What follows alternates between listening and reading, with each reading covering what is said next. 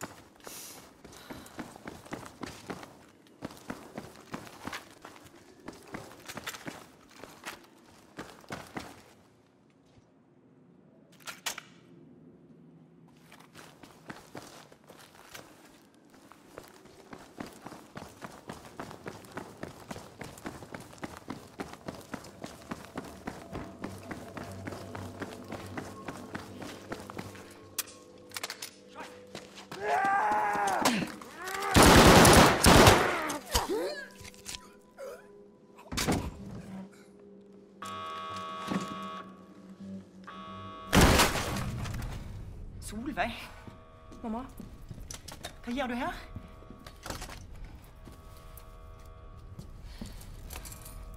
fulgt etter deg. Prøver å redde livet ditt. Ja, det fins viktigere ting. Det syns ikke jeg. Bli med hjem. Solveig! Vi kan ikke dra hjem. Tyskerne bygger noe forferdelig. Vi må finne ut hva det er. Jeg og du, vi er nødt å stoppe det.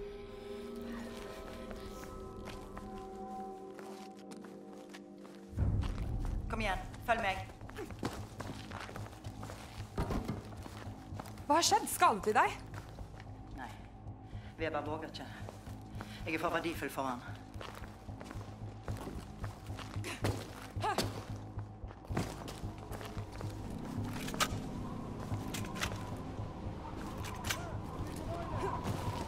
Det kommer flere soldater. Vi må unngå dem. De burde bare dra.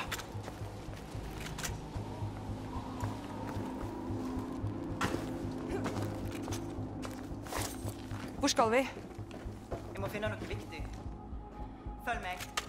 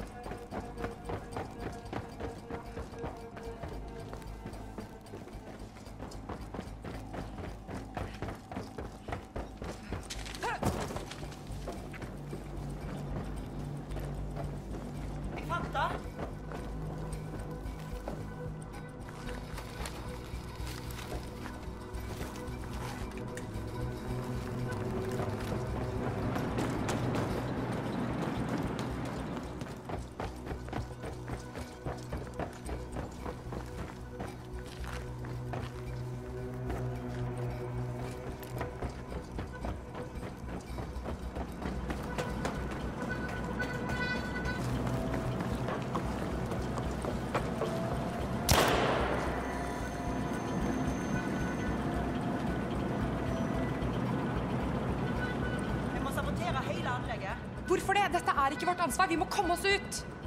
Du skjønner det fortsatt ikke. Vi må stoppe dem fra å produsere mer tungt vann. Jeg tar meg av kontrollene her. Du må gå ut og stoppe sentralen. Hva snakker du om? De store metallboksene utenfor. Ikke kast bort mer tid. Gå! Vi møtes på brua.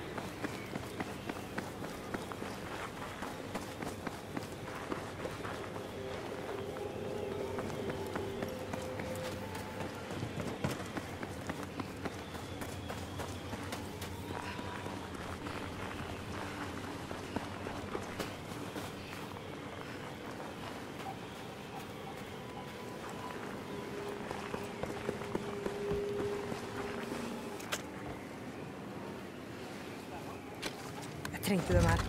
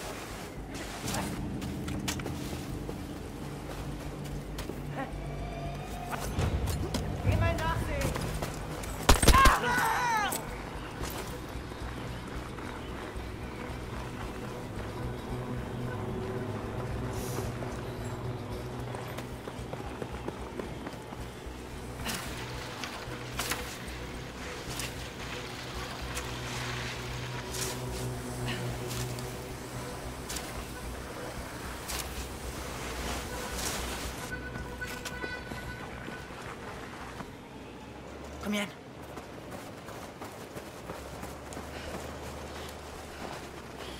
Lastebilene. Nå med sjansen.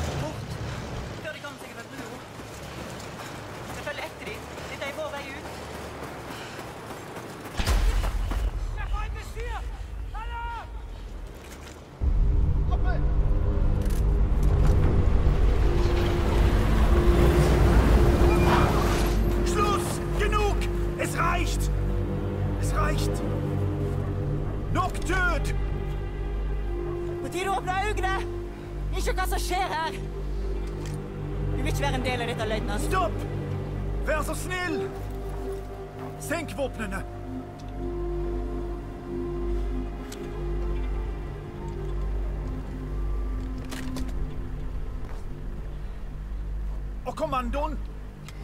Og kommandoen! Solveig! Det er dattera mi. Meine Tochter!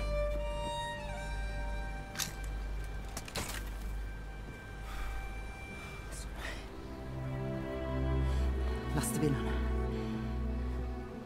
Ikke en dråpe. Forstår du?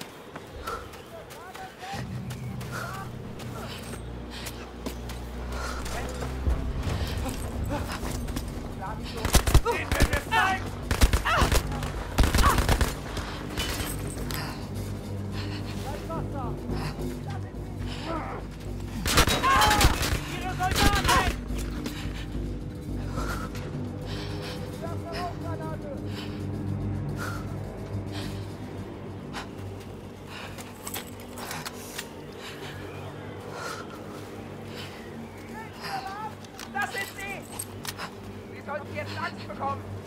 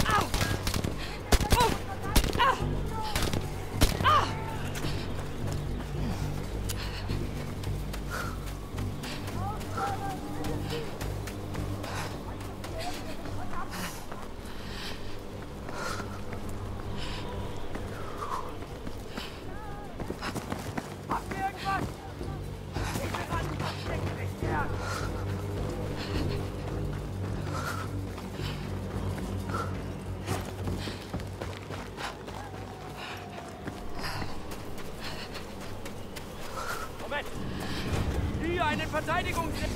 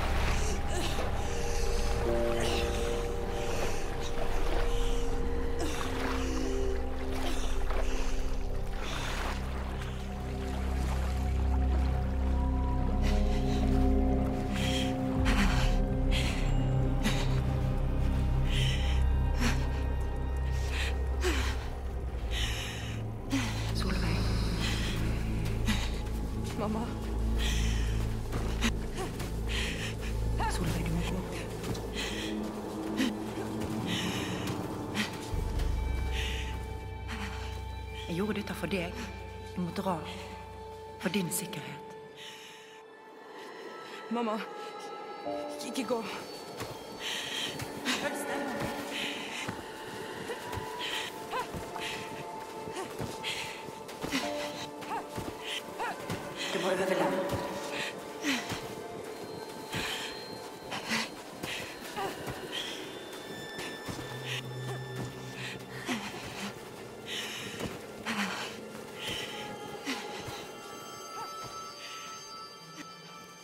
Trenger deg, mamma.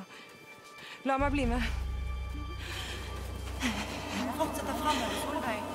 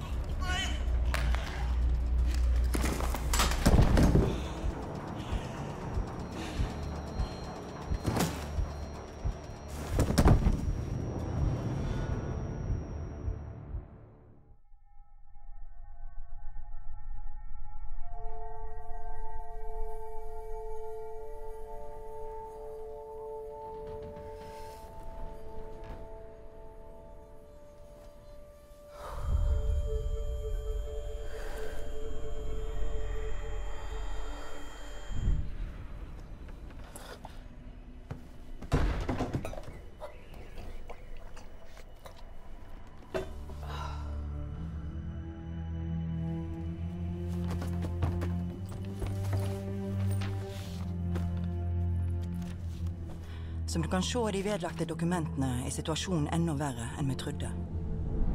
Fabrikken produserer tungtvann, en nøkkelingrediens i en ny, forferdelig bombe som tyskerne utvikler. De transporterer det til Tyskland i morgen, og vi må stoppe dem. Når arbeidet deres er ferdig, vil de ha kraften til å viske ut hele byer. Men de kan ikke lykkes uten tungtvannet.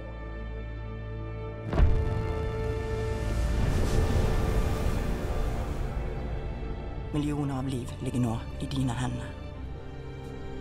Ta vare på dattera mi, Solveig. Hun er yngre enn hun tror hun er, og hun er bedre enn hun aner. Livet hennes og livet til alle våre barn er avhengig av at vannet aldri når Tyskland.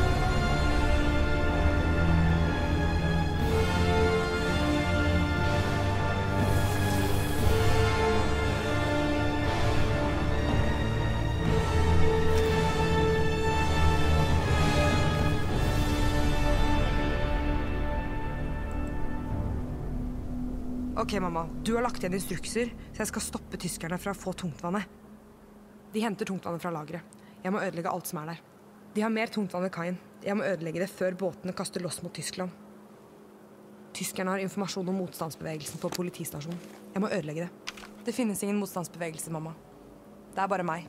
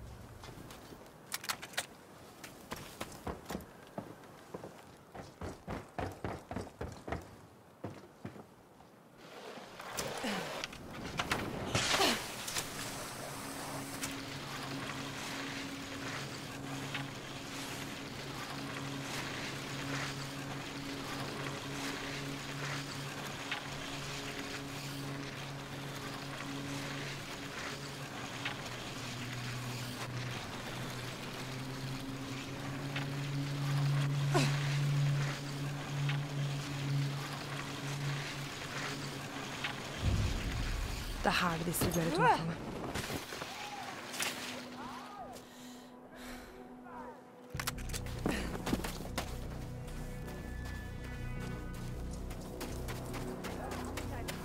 Der er vannet. Guck mal wieder. Er besetzt einfach ungern seine eigenen Männer. Ihm brennen ständig die Sicherungen durch. Er hat eben ein weiches Herz. Er ist dafür nicht gemacht. Uns sollte er jedenfalls nicht wütend sein. Er ist mitten am Tag reingelaufen und hat die Stiefel mitgenommen.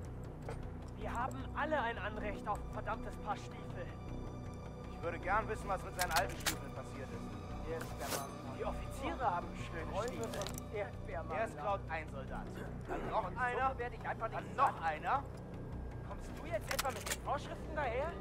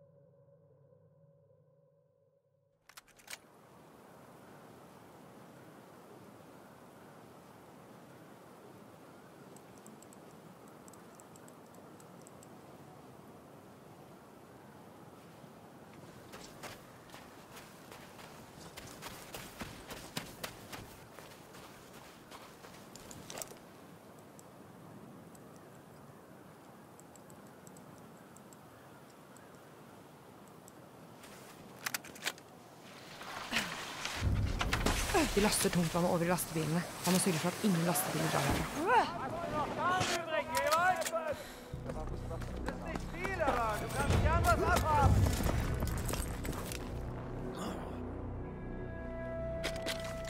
Denne kommer jeg til å trenge.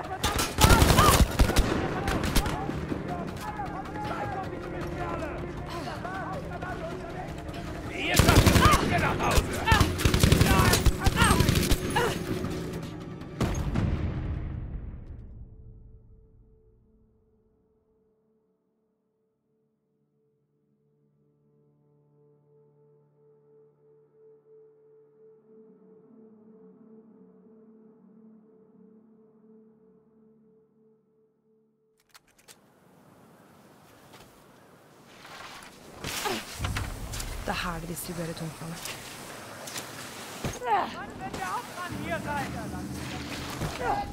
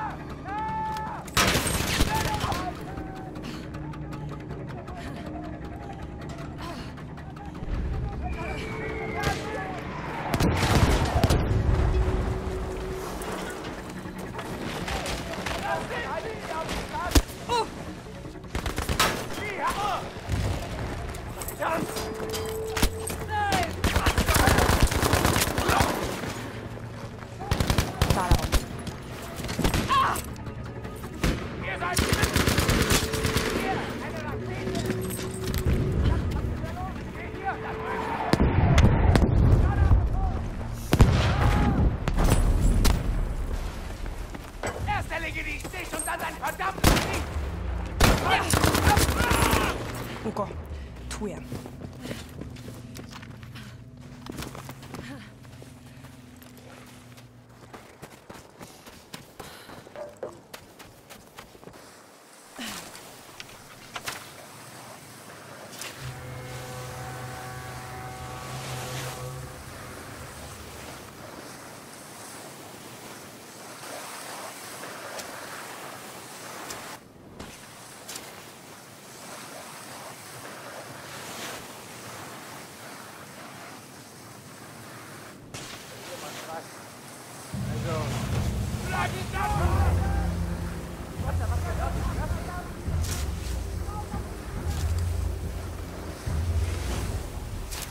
må være bygda de har markert på planen.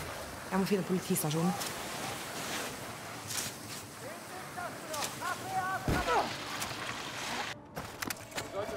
Dokumentene nevnte noe om under bakken.